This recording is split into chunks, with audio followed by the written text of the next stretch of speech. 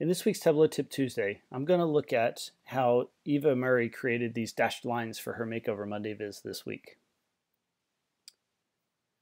So I'm going to start, I'm using Superstore sales in this example, and I'm going to just go ahead and look at maybe sales by quarter. Something very simple like that. So if I look back over at, at Eva's, you can see she's got a mark at the beginning, a mark at the end, and then it looks like dashed lines in the middle. Well, really, the trick is that you have to, these are actually white circles that make up the dashed lines. So how do we go about doing that? So I'm going to go ahead and duplicate the sales field. And in this one, I'm going to make these circles. And then I'm going to go ahead and make it a dual axis and synchronize. All right, so from here, I need to create a couple of calculations. I'm going to say first or last for the name. And I'm going to say if first equals 0, then first, else if last equals 0, then last, else others. And the reason I'm creating three of these is because I need to have three different colors. If I look back over at Eva's, you can see she has different colored greens, or it looks like a gray and a green for the start and the end.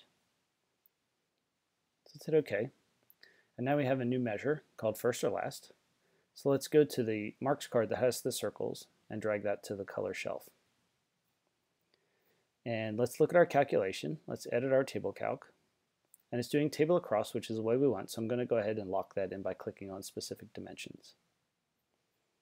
So now it's just a matter of, on the first, I'm going to maybe make that a light green, make the last a dark green, and then for the others, I'm just going to go ahead and maybe make it white. And there we go. Just like that, we've got dashed lines. So I can go ahead and maybe drill this in by month. Oops, that broke my calculation, but that's okay. I can go ahead and fix this. We want to do it by month. And there you go. Now you've got dashed lines for every month. We could maybe put region on the rows. And now we have little spark lines. So I can go ahead and shrink these up. Oops, undo.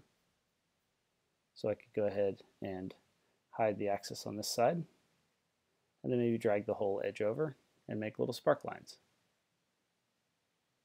Okay, so uh, in this case, we probably need to make the circles quite a bit smaller. But you can still see the dashed lines. So let me undo, because I don't really like that. Okay, so there we go. So there's your dashed lines.